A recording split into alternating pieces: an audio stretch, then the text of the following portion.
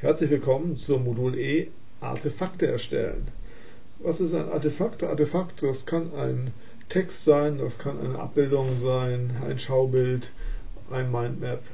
Es geht darum, dass Sie anfangen, etwas zu schreiben, zu gestalten und dabei unterstützen Sie Ihren Lernprozess. Wie geht das? Schauen wir mal hin, was Frau Cottrell dazu schreibt. Es gibt so bestimmte Tricks zum, zum Loslegen.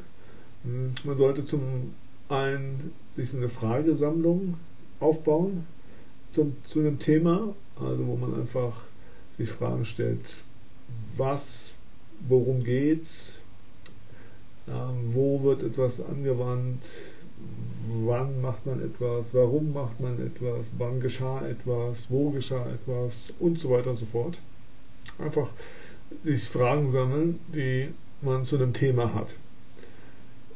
Ganz wichtig sind meiner Meinung nach Zusammenfassungen. Schreiben Sie Zusammenfassungen von den Themen und das auch, also gerade bei Fächern, wo Sie sehr viel, wo es um Wissenswiedergabe geht, immer wieder Zusammenfassungen schreiben und die dann ab einem bestimmten Punkt dann auch einfach aus dem Gedächtnis schreiben. Textverarbeitung ermöglicht Ihnen Texte zu schreiben zu einem Thema und die nachher zu bearbeiten. Das heißt, Dinge auszuschneiden, umzustrukturieren und gegebenenfalls auszudrücken, für an, mit anderen austauschen. Und später werden wir nochmal sehen, wie man das zusammen mit anderen schreibt. Listen sind auch immer gut. Das haben wir schon bei Remember the Milk zum Beispiel gesehen. Das sind ja im Grunde auch Aufgabenlisten und äh, Listen haben den großen Vorteil, dass man einfach erstmal was runterschreiben kann und dann nachher sortieren kann. Wenn man eine neue Idee entwickeln will, dann gibt es verschiedene Formen des Brainstorming. Hier geht es vor allem um das Schreiben, das heißt, man brainstormt erstmal alleine und Dafür kann man zum einen freies Assoziieren verwenden. Man nimmt einen Begriff und schreibt den nächsten Begriff, den man den einen dazu einfällt. Das wird dann häufig auch genutzt, um sogenannte Mindmaps zu erstellen. Oder beim freien Schreiben schreibt man einfach los, was man einfach zu diesem Thema, was einem einfällt. Alternativ dazu kann man auch sprechen. Sprechen, einfach mal laut über eine Sache ähm, ja, sprechen, beziehungsweise man kann auch zum Beispiel beim Joggen über eine Sache nachdenken. Sie müssen es nur danach dann wieder festhalten. Beim Sprechen kann man sich auch selber aufnehmen und sich das nachher nochmal anhören. Manchmal hat man tolle Ideen und nachher sagt man verflixt, ich hatte doch gerade eine sehr gute Idee. Oder man diskutiert äh, mit anderen. So kann man also loslegen. Hm, das größte Problem eigentlich beim Schreiben häufig ist ja, dass manche Leute sagen, sie hätten eine Art Schreib Blockade. Dafür gibt es aber natürlich auch wieder Möglichkeiten, sich äh, ja, das zu überwinden. Und ganz wichtig, meiner Meinung nach, ist beim, beim Schreiben, dass Sie einfach loslegen. Äh, skribbeln, also schreiben Sie einfach Ihre Ideen auf einem Blatt, ganz ungeordnet, einfach irgendwo drauf. Ähm, schreiben Sie auf loses Papier, nehmen Sie was dazu. Ähm, so können Sie nachher Dinge nochmal dazwischen ordnen, umordnen. Sie sollten auf alle Fälle sich nicht von Fehlern irgendwie ja, ähm, irritieren lassen, sondern tatsächlich ähm, sagen, es ist nur für Ihre Augen, experimentieren, irgendwo anfangen zu schreiben äh, und dann anfangen, vielleicht das Papier zu markieren, dass Sie dann vielleicht einmal durchnummerieren oder ähm, Überschriften drauf tun, um nachher Dinge noch zu sammeln. Ähm, Computer kann man nutzen, ähm, um zum Beispiel zu brainstormen, Dinge festzuhalten oder auch äh, ja, sich Strukturen aufzubauen. Also hier zum Beispiel sehen wir einen Hinweis auf eine Software-Bubble. Und natürlich ganz wichtig, Aus- und Relax nicht vergessen. Ich habe vorhin schon das Joggen erwähnt. Zwischendurch mal ein bisschen Sport machen und ein bisschen einfach mal was anderes machen. Dann kriegt man auch wieder gute Ideen um, ja, um, um ja, die Schreibblockade zu überwinden. Gerade bei schriftlichen Aufgaben kann man so ein paar Schritte abarbeiten. Also das erste Wichtigste ist natürlich immer die Aufgabe abzuklären. Das heißt, Sie schauen sich an, wie ist die Aufgabe gestellt worden, was für Fragen haben Sie dazu. Zögern Sie nicht, den, die Dozentin, den Dozenten nochmal nachzufragen, was genau gemacht werden soll. Äh, lesen sich dazu auch vor allem auch die Unterlagen gut durch und äh, schauen Sie die Aufgabenstellung an, was da gefordert worden ist. Und dann können Sie anfangen zum Thema Brainstorming zu machen oder erstmal ein, Schau, ein Schaubild zu machen, zu gucken, was Sie vielleicht bereits wissen. Und so, dass Sie auch vielleicht so Wissenslücken irgendwie schon mal die ersten klären, damit Sie wissen, was Sie lesen oder herausfinden müssen. Als nächsten Punkt geht es dann um die Informationen sammeln. Ähm, dabei sollen Sie ein bisschen wählerisch sein, nicht einfach immer die ersten zwei äh, Treffer auf Google nehmen, ähm, sondern tatsächlich nach Antworten suchen zu Ihren Fragen, also die dann auch speziell genug sind. Und bei jeder Information, die Sie sehen, sollten Sie sich fragen, brauche ich jetzt diese Information und wie will ich diese Information äh, nutzen? Die im Internet gibt es sehr viel. Wir haben uns schon in den vorangegangenen Episoden damit äh, beschäftigt. Modul C Informationen sammeln. Ähm, das ist, da sollten Sie nochmal reinschauen. Ne? Es ist ganz, ganz wichtig, dass Sie sich notieren, wo Sie Ideen und Informationen gefunden haben, dass Sie gegebenenfalls nachher nochmal reinschauen können und zusätzliche Informationen dort äh, suchen. Dann sollten Sie organisieren und planen. Hier sieht man sehr schön äh, einen Jahresplan. Da ist so ein bisschen festgelegt, welche, äh, ja, wann kann ich arbeiten, wann kann ich nicht arbeiten. Das ist schon so im Grunde der Jahresurlaub eingebaut. Und dann wird geplant. Wenn man wirklich jetzt ein längeres Projekt hat, dann kann man hier sehen, wann mache ich was. Da haben wir uns auch schon mit beschäftigt, mit, ja, mit so Dingen wie, wie Projektplanung sollten sich auf alle Fälle einen Plan machen, wie sie vorgehen wollen. Und machen Sie erstmal einen großen Plan, damit Sie erstmal wissen, worum geht es insgesamt. Und das kann man dann klein, klein brechen. Also gerade bei größeren Abschlussarbeiten, Bachelor, Master Thesis, ähm, aber auch bei einer Praktikumsplanung etc. Und da kann man sich immer wieder orientieren. Wo bin ich eigentlich? Was mache ich? Äh, stecke ich zu viel Zeit momentan in eine Sache rein, die schon fertig sein müsste? Und bringt das überhaupt noch was, da jetzt mehr Zeit reinzustecken? Da können Sie also nochmal in die Episode 2 und 3 im Modul B erfolgreich studieren reinschauen. Das sorgfältige Planen hilft Ihnen dabei, vor allem Wiederholungen zu vermeiden, die Materialien zu organisieren und die Gedanken zu ordnen. Sie wissen halt immer, was Sie eigentlich jetzt momentan machen und machen wollen und können damit arbeiten. Nächster Punkt, erfassen, reflektieren, evaluieren. Da hat man viel, viel angeordnet und da haben wir auch im Modul Wissen verarbeiten D, Modul D Wissen verarbeiten schon mit äh, dran gearbeitet. Und hm, sich fragen, okay, was haben Sie herausgefunden? Hat sich vielleicht auch Ihr Standpunkt geändert über das, was Sie dort gelesen haben? Ähm, kann man die Argumente, die man hat, auch untermauern? Das ist sehr wichtig in wissenschaftlichen Arbeiten äh, haben Sie genügend Literaturstellen, Beispiele für die, für die Aussagen, die Sie machen wollen? Ähm, und welche Argumente stehen eigentlich Ihrer Sichtweise gegenüber? Da muss man dann schauen, wie man das aufgreift. Äh, und gegebenenfalls muss man noch ein bisschen mehr Informationen sammeln und äh, Dinge lesen. Dann schreibt man eine Grobgliederung. Grob bedeutet wie es schon so schön heißt, äh, erstmal im Überblick und später fängt man an, die Grobgliederung zu verfeinern. Äh, Sie sollten den Entwurf einfach erstmal ganz schnell runterschreiben und dann anfangen, das zu überarbeiten.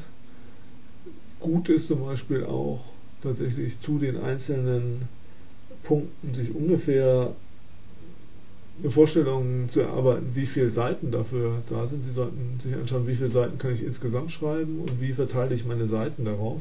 Weil es hilft Ihnen später dann auch abzuschätzen, wie viel Zeit Sie wofür brauchen und auch während des Schreibens, dass Sie merken, ich habe jetzt hier schon 15 Seiten geschrieben, ich kann aber eigentlich hier nur 10 Seiten schreiben, das heißt, Sie müssen es zusammenfassen und kleiner machen.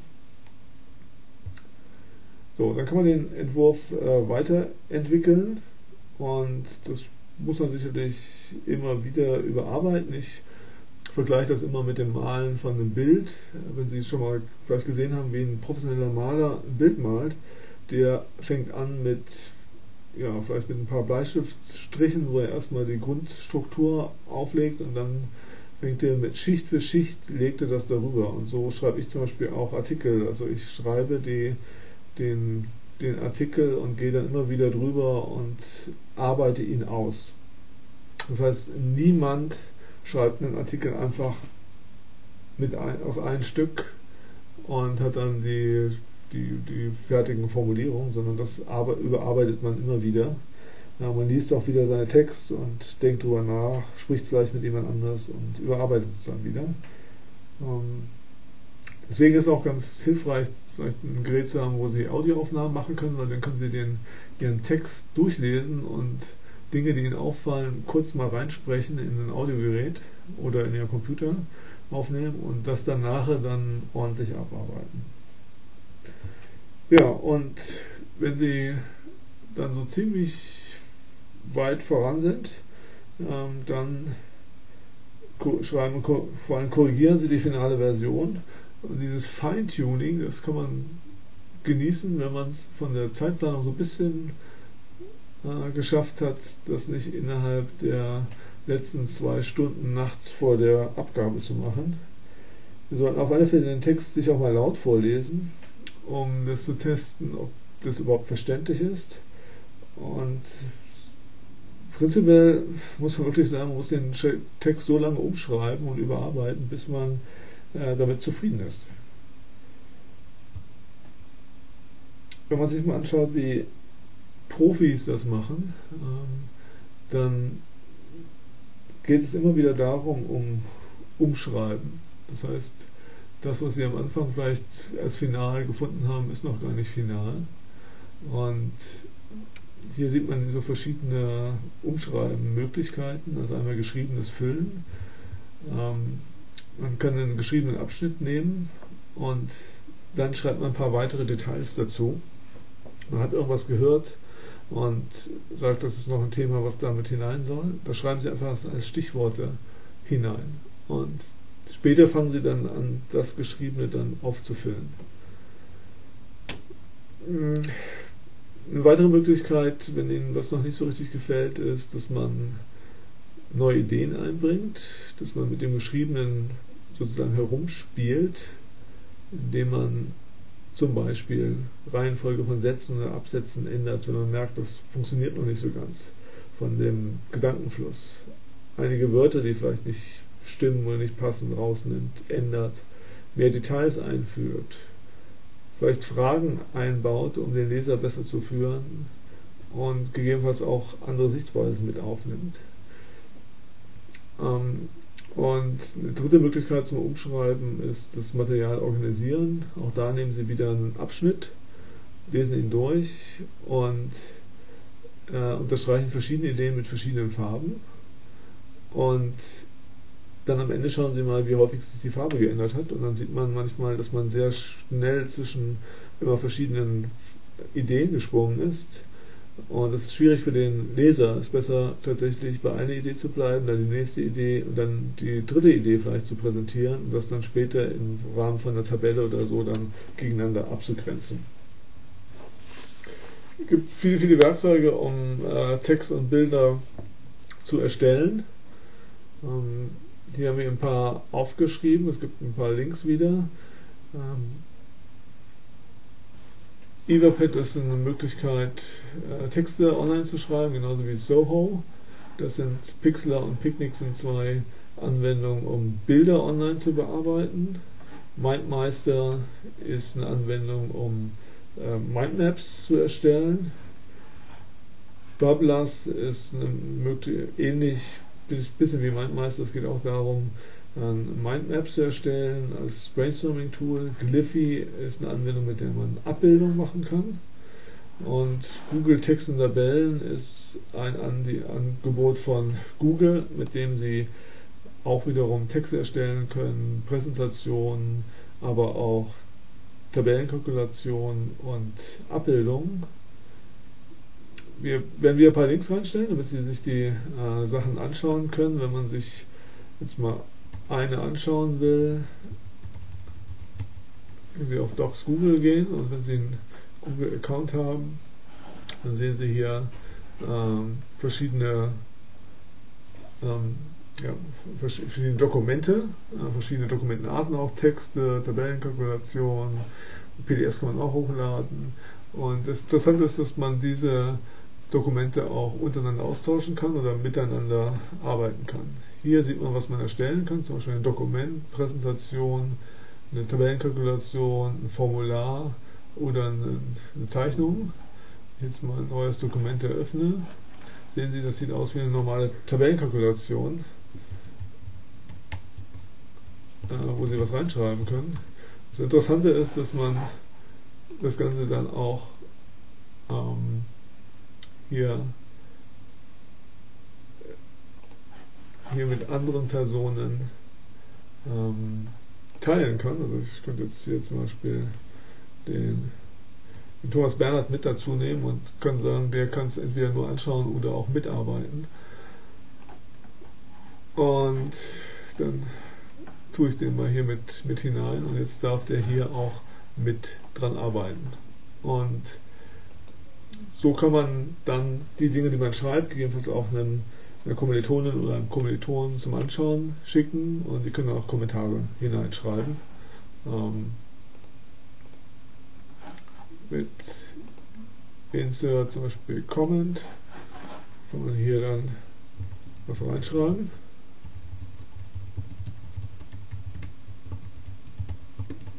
Okay, äh, so zu den Tools. Links wie immer gibt es auf der eStudie Homepage. Ansonsten ähm, gibt es noch einen weiteren Punkt, das ist so ein bisschen ein Add-on heute. Ähm, das Thema nämlich, dass man auch Audio und Video erstellen kann. Bisher waren wir sehr textlastig oder abbildungslastig. Äh, mittlerweile im Netz wird natürlich auch sehr, sehr viel Audio und Video zur Verfügung gestellt. Mittlerweile wird, werden mehr Videos auf YouTube geschaut als Google Suchanfragen gestellt. Ähm, und das wird so ein bisschen, also ein Teilbereich davon ist das sogenannte Podcasting. Da produziert und veröffentlicht man Audio- und Videodateien. Ähnlich wie bei einem Blog, wie wir das schon gemacht haben, so wie Sie das machen. Nur, dass man dort keine Texte schreibt, sondern halt Audio- oder Videodateien erstellt.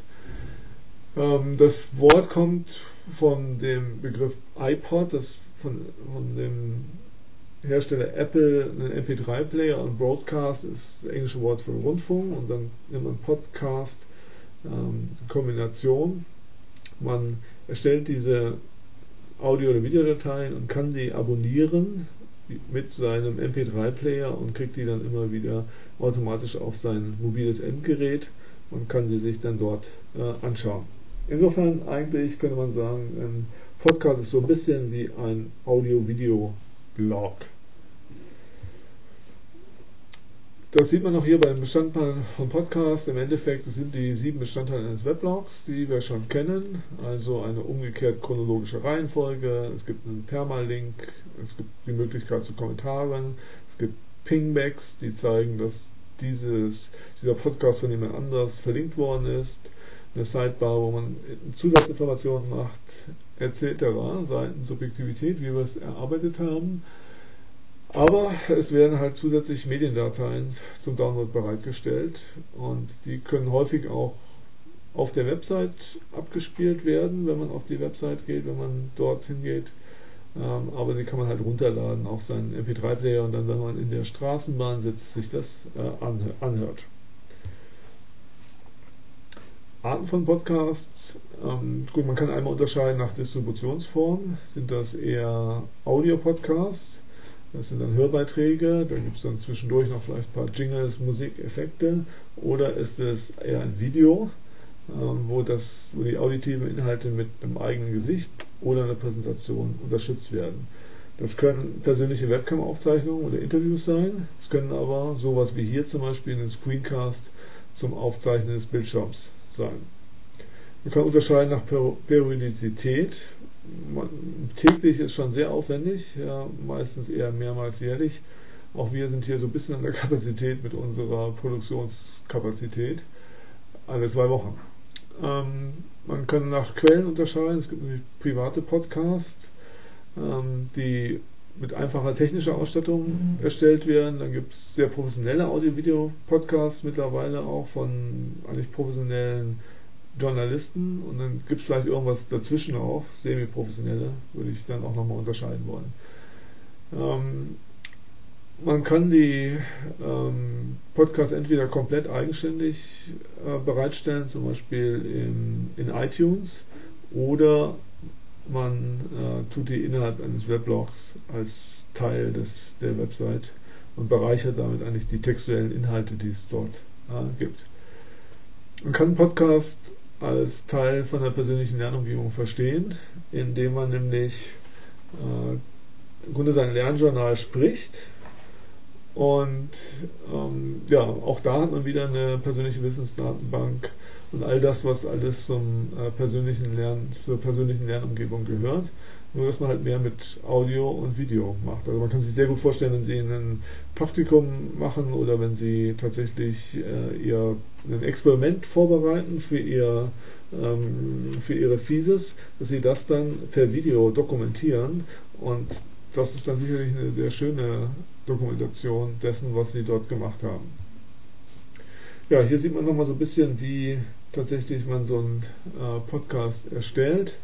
Die Alice nimmt auf, das gibt eine Audiodatei, die wird konvertiert in ein MP3-File und die wird eingebunden in so einen RSS-Dienst, äh, so dass andere und veröffentlichen das dann übers Internet und lädt auch die MP3-File hoch.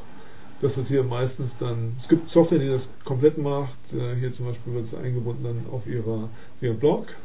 Und im Internet kommt dann zum Beispiel der Bob, der sucht was nach so einem bestimmten Thema und das bietet scheinbar Alice an und dann lädt er das herunter. Es wird überspielt auf den MP3-Player und dann kann Bob das hören. Ihr könnt es natürlich auch gleich auf seinem Desktop hören, aber das ist dann nicht mehr so schön mobil. Wie erstellt man einen Podcast? Äh, man kann tatsächlich ein richtiges eigenes Programm dazu äh, nutzen.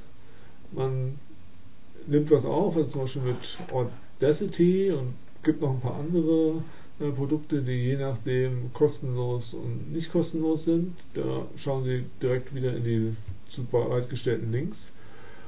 Und ähm, dann tun Sie das bei einer Website hochladen, die darauf spezialisiert ist, Podcasts anzubieten.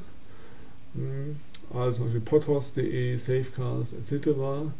Oder Sie veröffentlichen das Ganze über einen Webserver auf einem eigenen Webspace, also wenn Sie zum Beispiel ein eigenes WordPress haben. Bei uns würden Sie das tatsächlich im Grunde hier über die Blogfarm der Uni machen, blog.uni-bremen.de. Möglichkeit B ist das integrierte Produzieren und Veröffentlichen. Ähm, da geht man auf eine Plattform, spricht seinen Podcast ein, erstellt das dort und hat es dann gleich da auch hochgeladen. Das sind so Dienste wie Screener, die wir schon gesehen haben für, für Screencasts, äh, MyPodcast.com, Hitcast.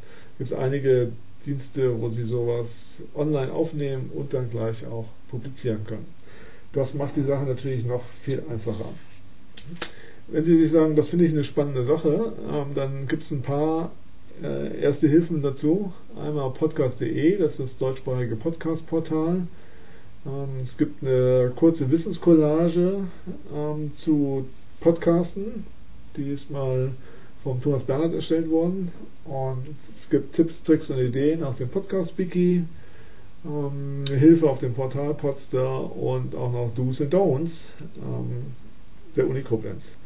Also da wollte ich mal nachschauen. Ich finde es toll, wenn wir ein paar Podcaster demnächst begrüßen könnten in unseren Reihen. Wie gesagt, ganz spannend finde ich das einmal für so ein internes Ideen festhalten, aber auch in so ein Dokumentieren, gerade von Projektarbeit, wenn sie Experimente machen etc. Das kann wahnsinnig spannend sein für andere Leute, sich das auch anzuschauen, die gegebenenfalls in dieselbe Richtung was machen wollen.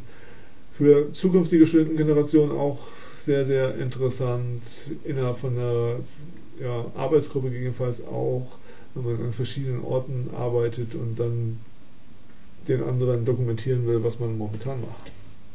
Wie immer die Quellen und das war die erste Episode länger als die anderen. Ähm, die nächsten dann wieder kürzer. Okay, tschüss.